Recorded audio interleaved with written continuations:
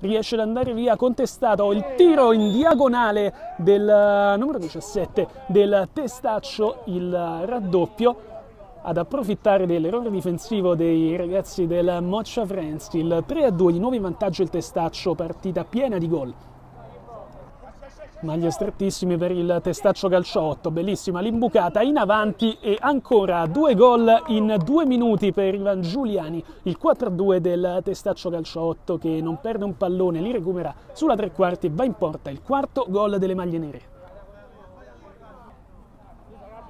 Lunghissimo più che può Pali, attenzione perché il contrasto è regolare, allora il tiro in diagonale a portiere battuto, la tripletta di Ivan Giuliani, vediamo se il gol è regolare perché c'è stata qualche contestazione regolare. Anche questo, allora la tripletta in 5 minuti 3 gol del numero 17 del Testaccio 5 a 2. Attenzione perché il pallone è finito addosso a Giuliani